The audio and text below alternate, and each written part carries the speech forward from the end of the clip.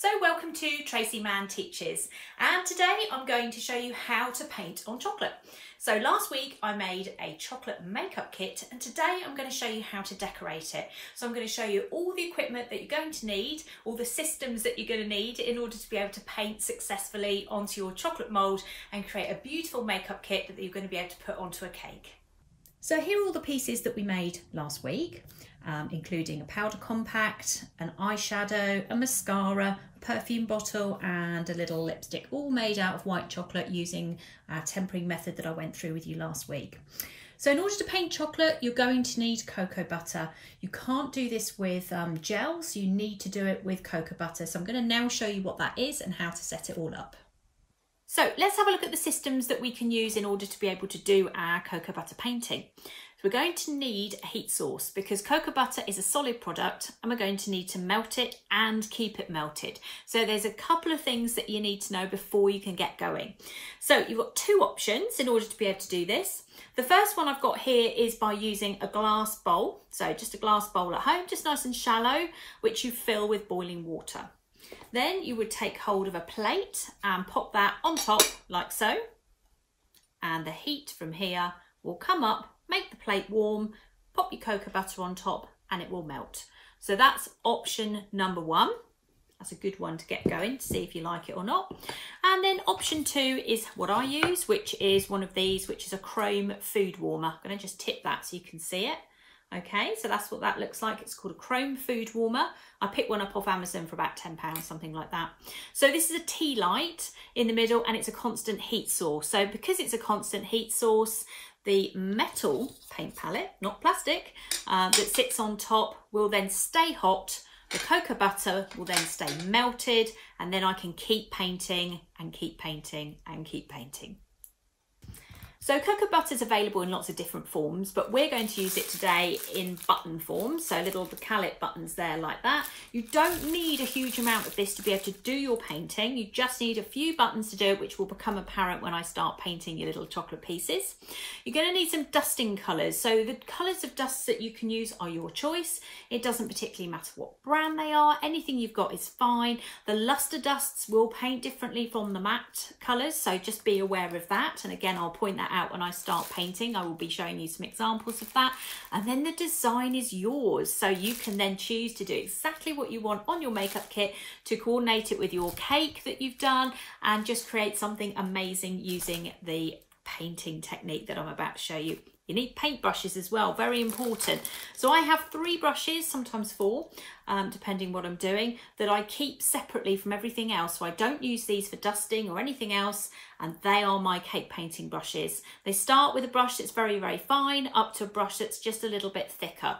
And these are what I use for my cake painting.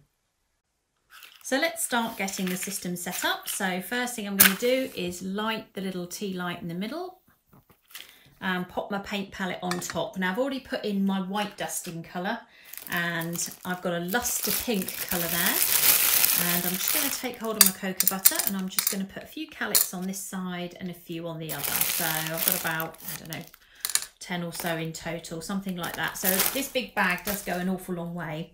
Then I'm going to take the other colours I've selected. So I've got um, grape violet, so I'm just pop a little bit of that on there.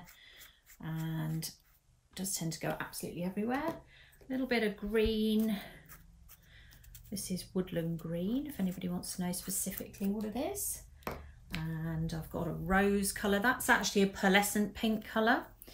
Um, one of the PME ones. And this is called Rose. And a bit of spring green as well, so a lighter green colour as well. May add in a few more colours later on, but that's our starting point. And then if you look very carefully, you can already see the cocoa butter started to melt. So it melts really, really quickly. And once it's fully melted, we can then start painting.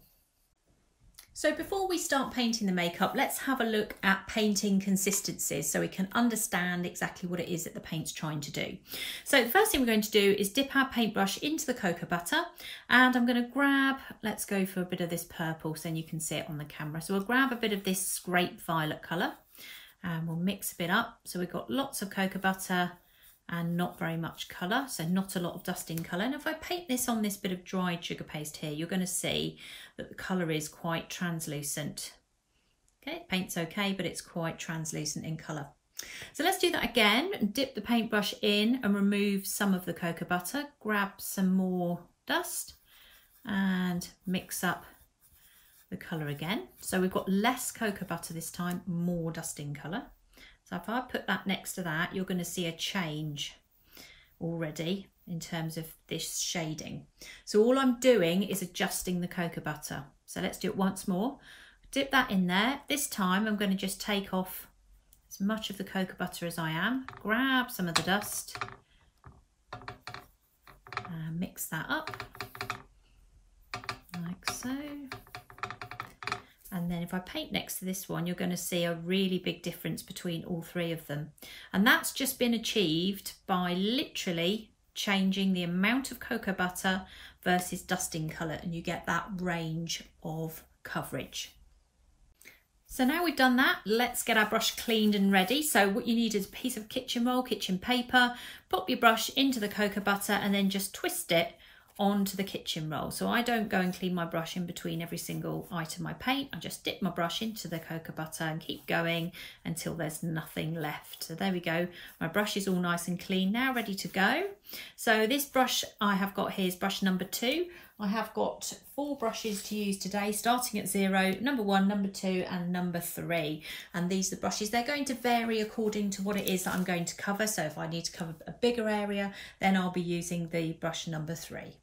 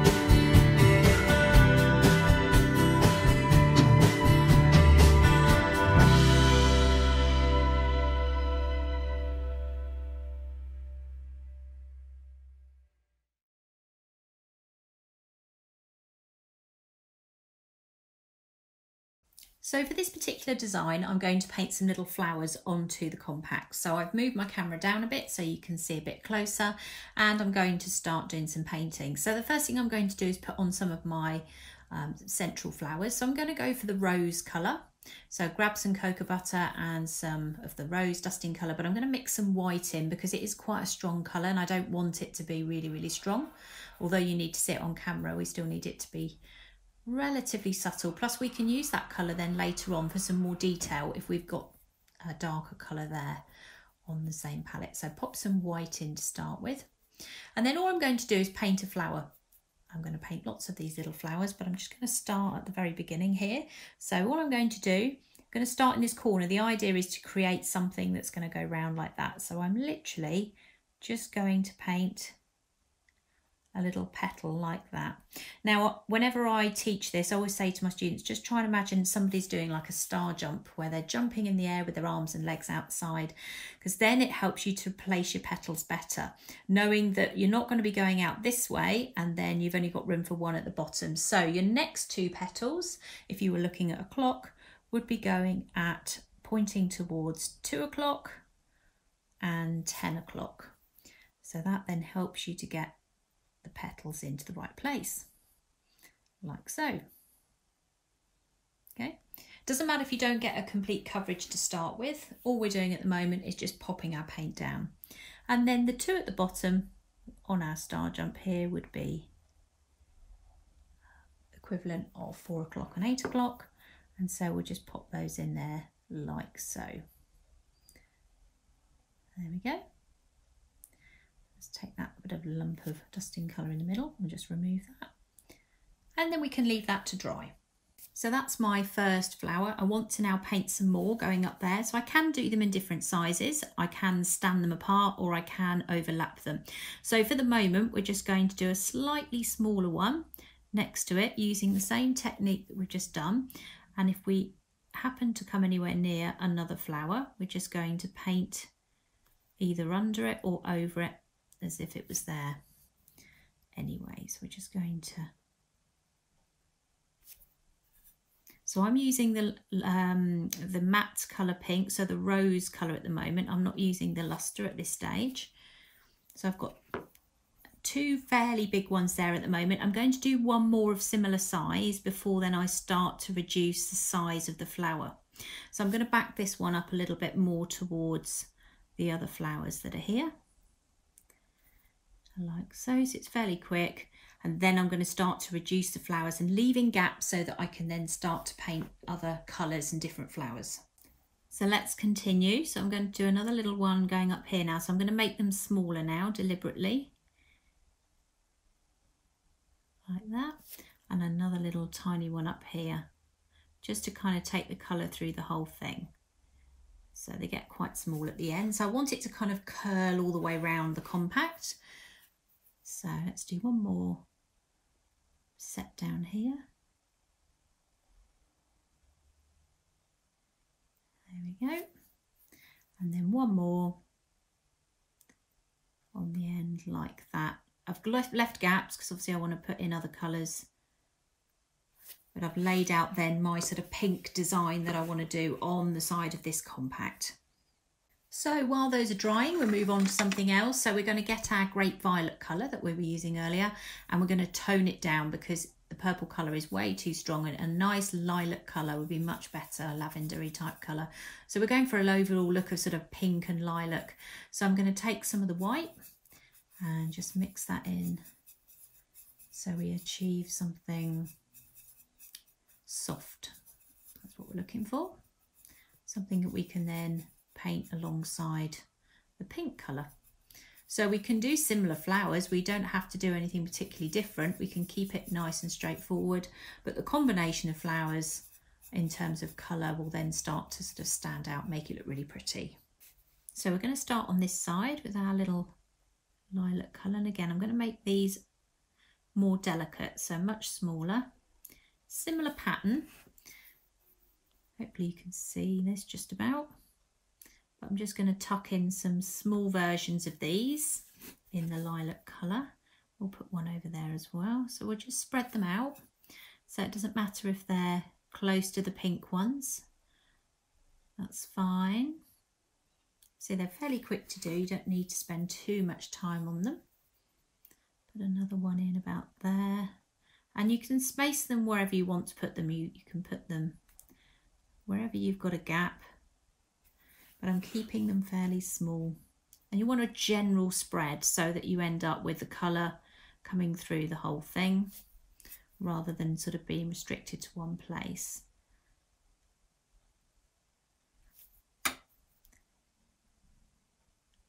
Like so.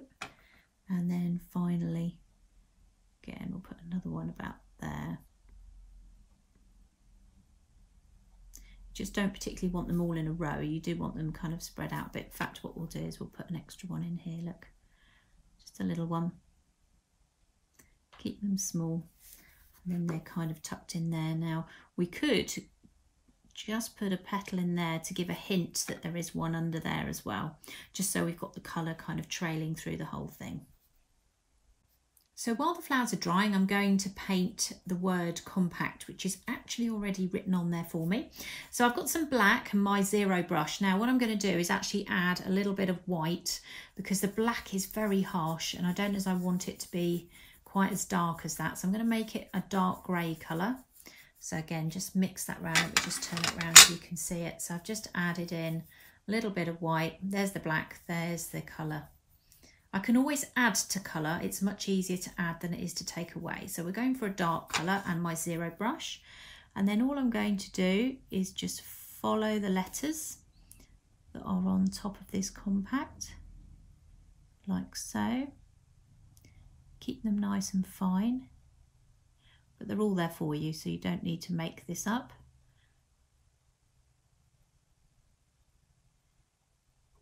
And I'm going to make my way across the whole compact just painting in the numbers or the letters I should say not the numbers um, just like that with this grey colour Now I'm going to show you a little tip here. If you accidentally put on too much colour in one particular place and you want to take it off, if you get yourself a scriber, you can literally just scratch it off like so. Very, very straightforward. So you don't need to start getting out any extra paintbrushes or anything else. You can literally just take the chocolate and just scratch off anything that you've made a mistake with. So let's go back to our design and we're now going to do some leaves. So I've got brush gone back to brush number two I'm going to get some of this spring green colour and I'm actually just going to add in a little bit of woodland green. So I'm just going to mix these two colours together. Woodland's too dark, spring is a bit too vibrant. So I mix these two together and it gets quite a nice green colour. Tiny bit more, just tones them down a bit. And then all I'm going to do, again, is similar shape to what I've done before, is literally just take my brush and I'm just going to pop some little leaves just amongst the design. So there we go, like so, like that. Again, you can put another one just sort of there as well, just trail it off like that. So you can put as many in as you like. Let's go down here. I just like to kind of tuck them in to start with, see what it looks like, and then go from there. And put another one there.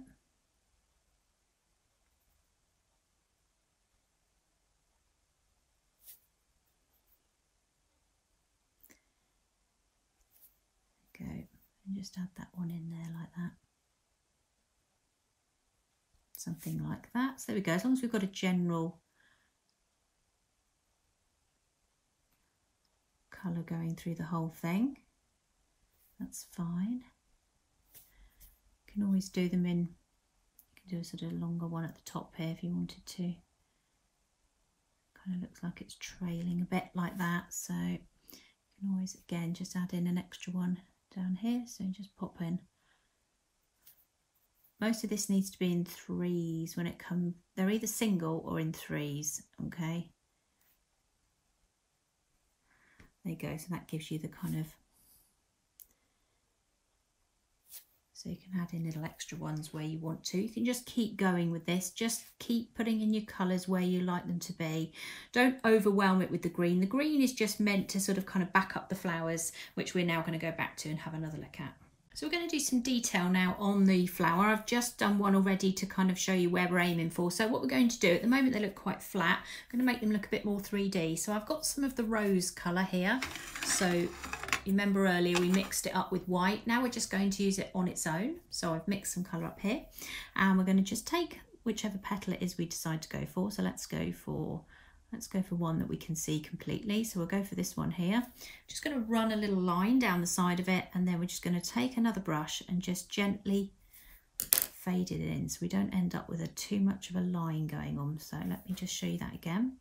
So it's a little bit like um, brush embroidery. If anybody does royal icing, they'll know what I mean. And it's just creating it to make it look a little bit more 3D. So just pop a line down there and then just use a dry brush just to fade it through. So I'm using brush number two and brush number one just to do the, the detail. We're trying not to achieve a line, we're just trying to achieve some shading here. So that's what's happening at the moment and make sure these petals um, stand out alone. There we go, like so. And again, just follow it round. I tend to just do one side of the petal. Don't need to do both. And then obviously if it goes underneath another flower, you can only do so much or as much as you can see. The key to this is making sure you blend this so that it stands out like that. You can do a, don't want to do them all at the same time. You can do a couple at the same time. I'm just doing two just to kind of speed it up a bit. And then I'm just going to carry on doing the other ones. So you can see the difference that it makes um, by doing this extra bit of covering on that side. It really makes it much more impactful and stands out from everything else that um, is going on. So we're going to do very similar with the um, lilac-y colour. So we're going to make that a little bit darker. We're not going to go full strength because this is actually quite a strong colour. And we don't want it to stand out too much. So we're not going to go for just grape violet on its own. We are going to add a little bit of um, white in there. And again, similar to what we've just done, just take it, just do a little tiny bit and just pull your colour through. So we're just focusing on one side of each petal. Doesn't actually matter particularly which side. And then just using a dry brush just to kind of blend it all through. You'll suddenly see these start to pop a bit more, they'll stand out. Because these are so small, you can actually do quite a few at the same time, but I'm quite happy just to do them individually. But if you were doing this at speed, then you could do could do them a few more at a time. So you can see already there's quite nice development there on pattern. So I'm just coming up to the last one on here, like so. Again, just blend it all through and turn it back round and you'll see just how much difference it makes just to use a couple of different shades. So I'm now going to mix up some white, which I'm going to use for the centre of my flowers. So I need this to be quite thick. So you remember what we said at the start about ratios of cocoa butter to dusting colour. So I need a lot of dust in here. And I'm going to just kind of twist my brush so I get it round, right down to a point. And then I'm just going to go into the centre of my flowers, all of them, just like so. You'll see it picks them up immediately. There you go. Now you can paint whatever colours you like, so you might fancy doing yellow centres maybe, something like that. There we go.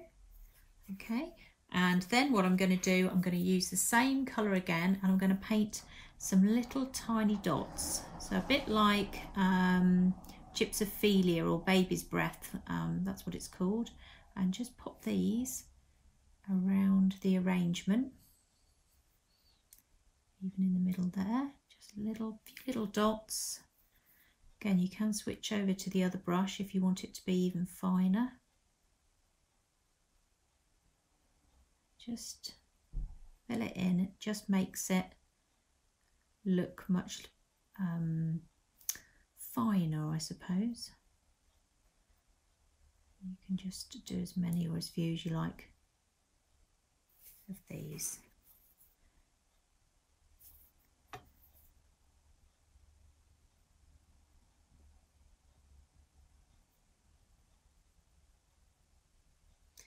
I'm going to try and spread them a little bit beyond the, the actual curve of the flowers so it doesn't end up being too set so it doesn't end up being too structured. So you can take this out a bit further.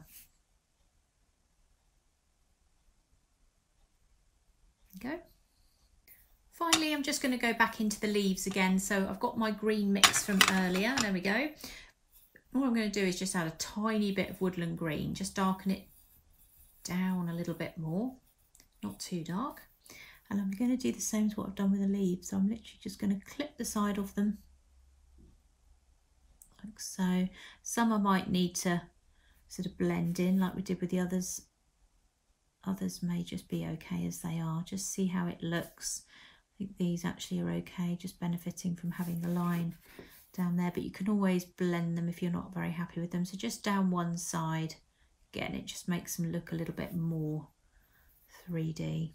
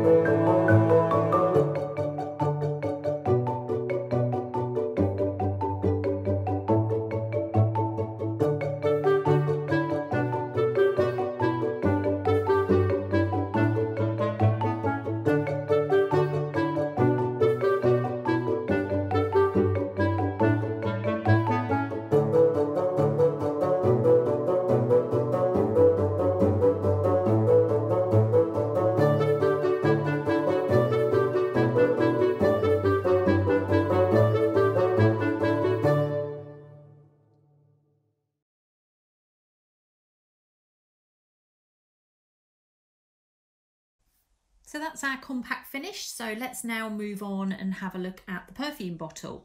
So with the perfume bottle, we've got some slightly different ideas with this. We can paint the same pattern in the middle so it all looks like it belongs to the same set.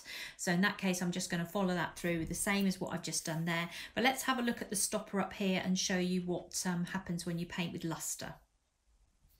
So for the stopper on my perfume bottle, I have got some gold luster colour here. So this is a PME one. And all I'm going to do is just mix my cocoa butter in with the luster colour. Like so. So it's quite nice and thick. I've got my brush number three that I'm using for this particular bit. And I'm then just going to go in there and start painting. So the coverage on lusters is really good on chocolate. And this is a nice gold colour because it's on the same because it's sort of a yellowy colour as well and the chocolate's a yellowy colour it does cover really really well. Same amount of drying time as everything else so one to two minutes in normal sort of temperatures normal temperatures like UK temperatures. Um, if you're in a hotter country you might just need to pop it in the fridge just to set it all off. Then just literally go around it like that. It's very easy. The coverage is amazing, very, very quick. If you wanted to make it even darker, you could then go over it again, let it dry, and just go over the, the perfume bottle again. So I'm now replicating the pattern exactly the same way as I did on the compact because I want it all to match so it looks like it's all part of a set. Obviously I've done a much more scaled down version this time but I'm following it exactly as I did before. So I've painted the flowers in the pale pink and I'm just going back now and just adding a few highlights. So I've finished replicating the pattern now. So there we go. We've got two so far as part of our set. And then we're going to move on now to the eyeshadow. So we've got these two big areas here to paint. And for that, I'm going to be using the luster colour again. So this time I've gone for a pink luster colour. I'm going to take a larger brush, dip it into the colour and mix it up. Now you do need a fair amount of the powder to be able to get a reasonable coverage with this. So just keep mixing. Find it just mix quite quickly and we're going to go for a sparkly colour as one of our colours here. So all I'm going to do is take my brush and the joy of the luster colours it actually then looks like eyeshadow because uh, a lot of the eyeshadows are quite sort of sparkly not just flat matte so the, the lusters are what you want to be using to do this little bit here. Let's turn that around and then you can just take it round that side until it's completely covered. It should cover in one go and then just leave it to dry. So to keep things consistent with my colour scheme, I'm going to take the gold, but I'm not going to use it in the neat colour that I used to cover the bottle top. I'm going to grab some white and tone it down a bit so I can then paint the other side with the pink. So we're so we've got a nice sort of a creamy colour here. It's all kind of on the same tone. Might make it a little bit darker. Just add a bit more in.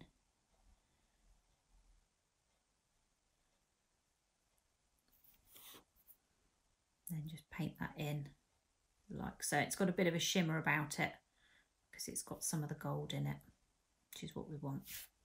Now you could, if you wanted to, paint some flowers around the outside edge of this, if you wanted it kind of to all tie together. I think because I've got the colours in there, I probably don't need to do that, so I probably will resist doing it on this particular thing. And we'll move on now and have a look at the mascara.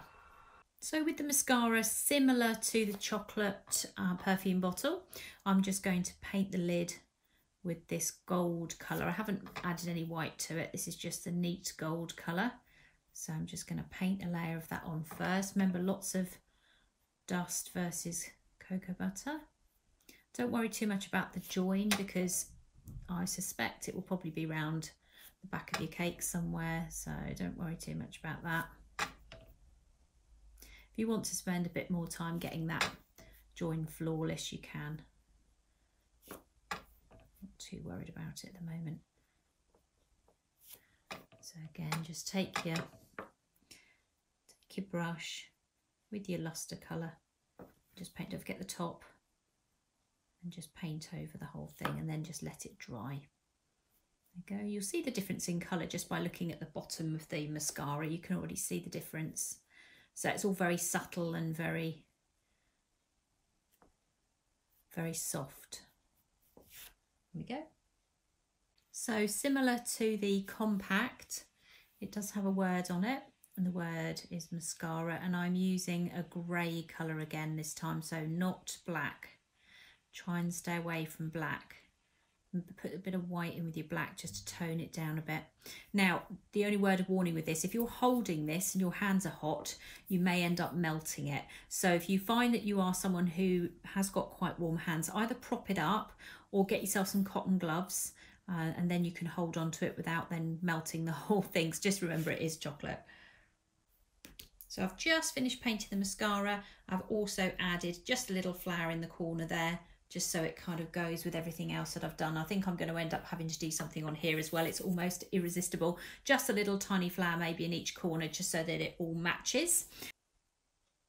So to paint the lipstick, I've taken some of the gold luster colour that I used on the lid of the perfume bottle and I've just painted round the base of the lipstick.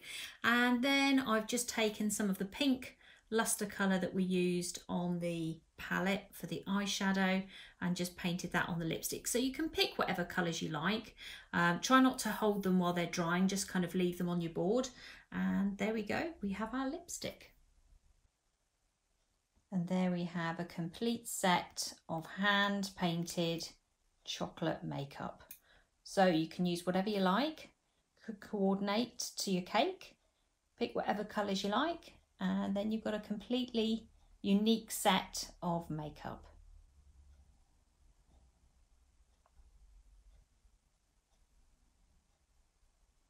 So thank you very much for joining me for this lesson. I hope you've enjoyed it and learned lots about how to paint onto chocolate. So on the next lesson, I'm going to be showing you how to make some flowers out of chocolate paste. So do please join me then. In the meantime, take care. Have a look at my website if you need any more information, which is www.traceyscakes.co.uk and I'll see you next time.